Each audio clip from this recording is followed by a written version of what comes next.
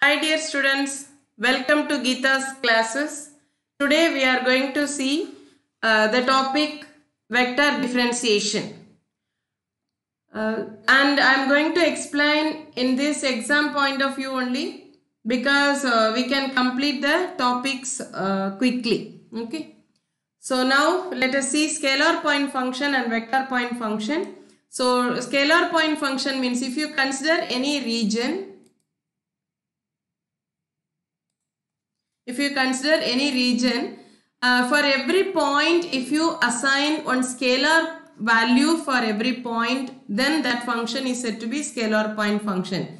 So, so the same way if you consider any space uh, any point in the space every point is assigned a vector point function then the, the defined function is said to be vector point function. And uh, for example scalar point functions temperature at any instant of uh, time and density of any body. You can say water pressure at each point in an ocean. They are all called scalar point. They are all examples of scalar point functions. And generally we write it as phi of xyz okay? That is denoted by phi of xyz generally we write phi of xyz or psi of x comma y for two dimension. Okay? Phi of x comma y also you can write and vector point function means uh, for example uh, you can say velocity of a moving fluid at any instant of time and gravitational uh, intensity. You can say gravitational intensity of force all those things are uh, vector point functions. And uh, uh, generally we denote it by f bar okay? This bar is denoted by denoted for notation for vector point function and generally we write it as f1i plus f2j plus f3k okay? Next we are going to see one important operator. It is vector differential operator you can say or vector operator del. It is denoted by this symbol del. So del means i into dou by dou x. This you have to remember throughout this unit. So del is i into dou by dou x plus j into dou by dou y plus k into dou by dou z. Okay and next this is just an operator. This can be applied on a scalar point function or you can apply on a vector point function also. So depending on which function you are going to apply the names will vary okay? So first let us apply it on a scalar point function. So if it is applied on a scalar point function it is called gradient. So phi of x comma y comma z is a scalar point function if it is, if del is applied, then what will you get? i into dou phi by dou x plus j into dou phi by dou uh, y plus k into dou phi by dou z is known as gradient of phi and is denoted by grade phi or del phi. So what do you, what is our del phi? Please remember this throughout this unit. So i into dou phi by dou x plus j into dou phi by dou y plus k into dou phi by dou z. Okay, this you have to by heart, you have to remember. Now let us uh, note this. See, uh, we are applying del. What is del? i into dou by dou x plus this is an operator. i into dou by dou x plus j into dou by dou y plus k into dou by dou z. If it is applied on a scalar point function, what is the resultant you value you got? You got a scale, vector point function.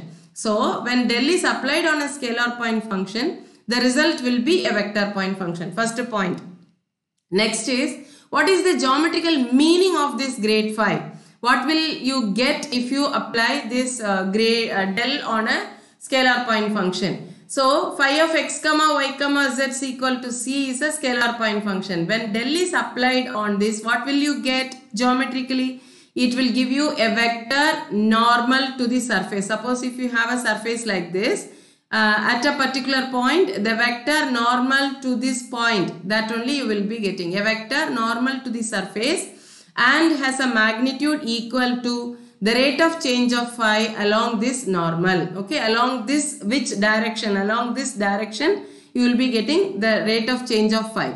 And this del phi will give you the maximum rate of change of phi. This will be useful in your next topic that is directional derivative. Okay, that we are going to see in the next class. Right. Now let us do some problems in uh, gradient del. Okay, so find the gradient of x squared plus uh, y squared into z. So what is this? It is a scalar point function. So let us take phi is equal to x squared plus y squared z. Okay.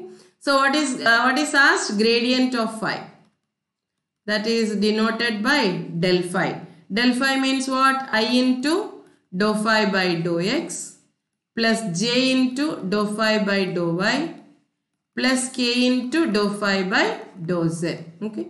So if you apply i into dou by dou x of uh, this one x squared plus yz x squared plus what is our phi x squared plus yz if you differentiate this partially with respect to x what will you be getting 2x right so 2x plus j into you differentiate this function partially with respect to y so the first is only x squared so it will become 0 and 2y into z plus k into dou phi by dou z. So first term will become 0 and y squared.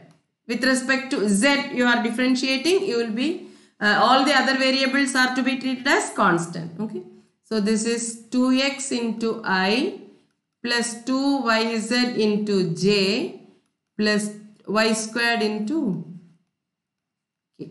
This is our del phi. This is our gradient of phi. That is the answer. Uh, next one more question we'll see. Find the unit vector normal to the surface xy cube z squared is equal to 4 at the point minus 1 comma minus 1 comma 2. You know vector normal to the surface is what? If you want to find out the normal to the surface, normal vector to the surface, we know that the gradient will give you the vector normal to the surface, right? So after finding del phi, you are asked to find out unit vector normal to the surface. So first let us find out the vector normal to the surface. So what is given? Phi is equal to xy cube z squared minus 4. Phi of xyz is equal to c. Uh, so a vector normal to the surface. First let us find out the vector, a vector normal to the surface.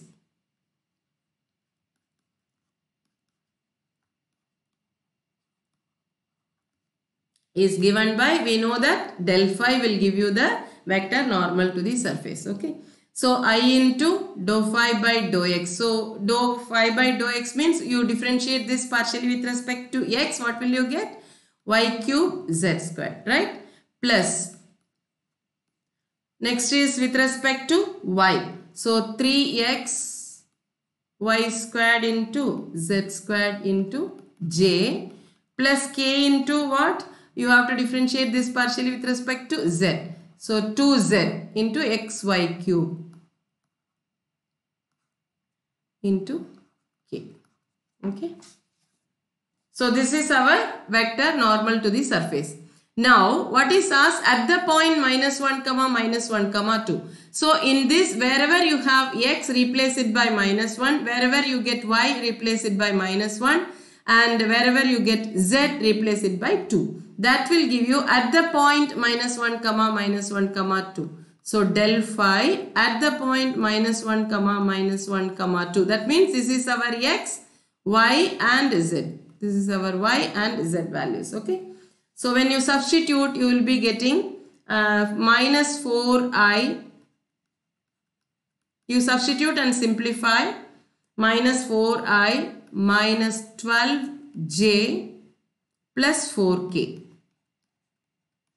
So substitute x equal to minus 1, y is equal to minus 1. For example, if you get y cube, y cube is what? Minus 1. Okay, so minus 1 into z squared is what? 4. So that's why minus 4i. Right?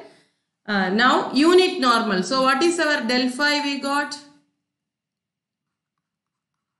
Del phi is equal to minus 4i minus 12j plus 4k.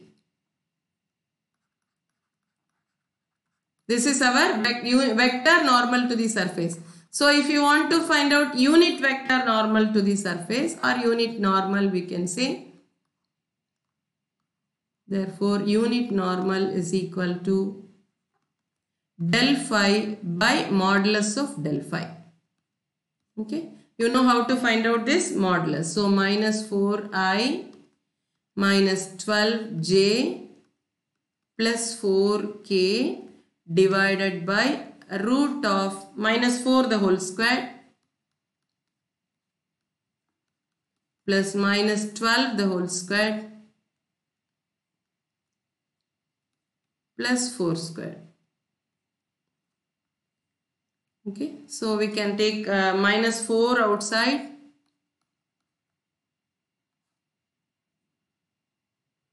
and i plus 3j minus k, right? Divided by root of, if you simplify, you will be getting root of 176, okay? So this 176 can be written as 11 into 16. So when you take 16 outside, it will become 4, root uh, 4. So that 4 and this 4 will get cancelled. You will be getting minus 1 by 11 minus 1 by root 11 into i plus 3j minus k. So this is the unit vector normal to the surface. Okay. Hope this will be useful for you. And in the next class, uh, I'll discuss about the directional derivative and angle between the surfaces. Thank you for watching.